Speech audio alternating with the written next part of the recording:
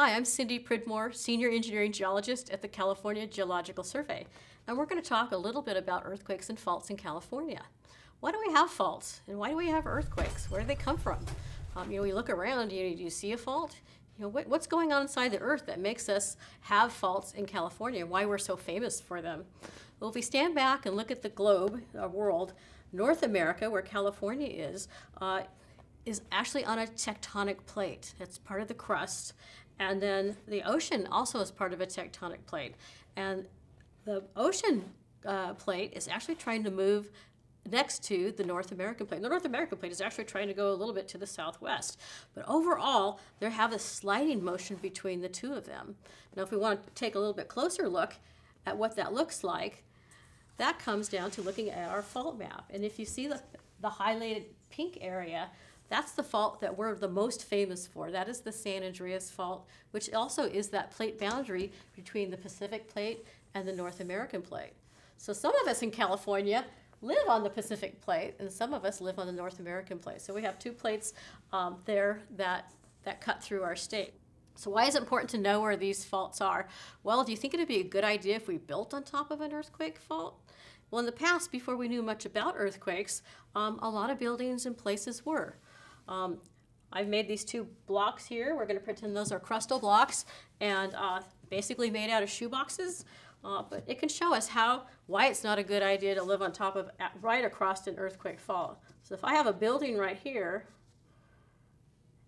here's my building, and this block moves towards you, what's going to happen to that building on there? Okay, let's go. Earthquake!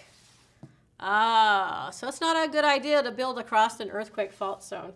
So what we do in California is we map these faults out so we know where they are so people won't build across them because it's hard to build a building, design a building that won't fall down. So you can build a, near a fault, but you can't build across the fault. So you know, you don't want to live on top of a fault itself. When an earthquake happens, the energy moves out in all different directions. So we also have to think about ground shaking. Where does that ground shaking come from? How come uh, they just don't slide past each other? You know, if this if this fault block wants to slide past this one, how come it just doesn't do that? Like, there's actually a lot of friction in the fault zone that keeps those faults from moving right past each other. And that friction builds up as energy over time. To show you how that happens is we have this little diagram here called the earthquake machine. This is a, I should put this in here in the middle. We'll move our fault sign down here. And we'll put this right here where you can see it. And put it at an angle. So this little fault machine uh, is a spinoff from an activity by IRIS, I-R-I-S.edu and you can go online and, and find that. But basically, if this is our fault zone, and for a vertical fault, we could think of it, this is one side of a fault block and that's the other. But we're going to look at how friction plays in an earthquake, because sometimes it's, it's really unpredictable to know when an earthquake is going to occur.